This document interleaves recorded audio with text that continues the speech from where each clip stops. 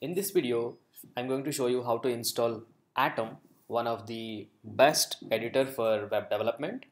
And I'll show you how to set it up for Node.js development.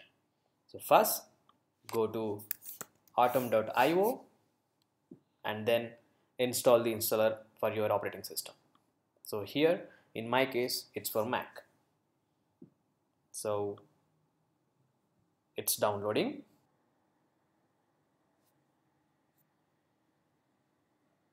So once the download is complete, you should see the package in downloads.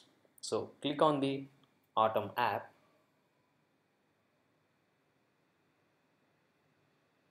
and say open. That's it. It's done. So now, so you got the default Atom application.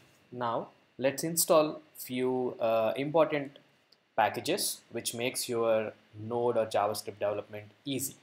So let me close this default windows. And then and then go to atom and then go to preferences. Now there is a section called install.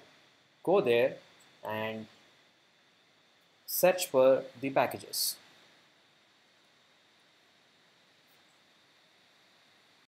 okay now let's start installing packages.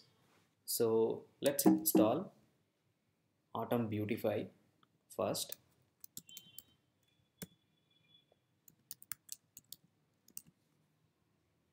Hit enter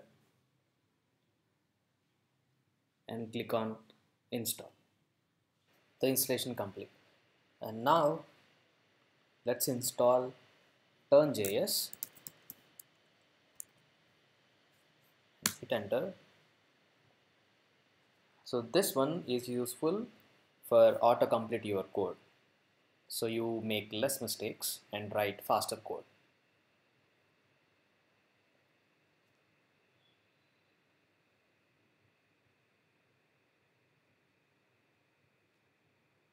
Okay this one also done.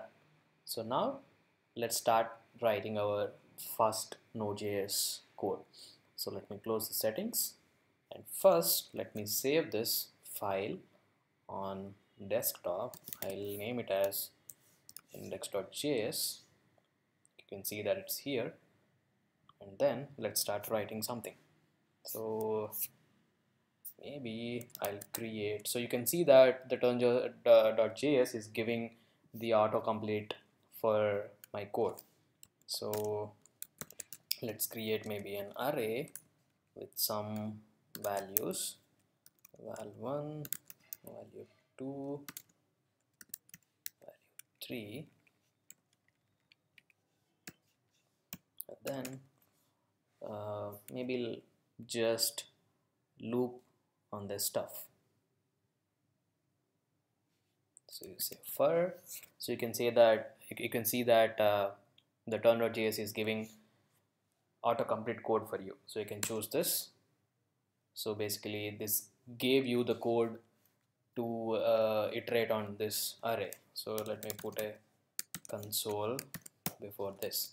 So let me save my file. So I'm done with my first simple node.js code.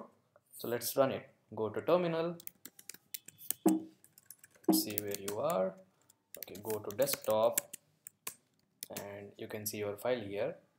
So you just say node space index.js and hit enter.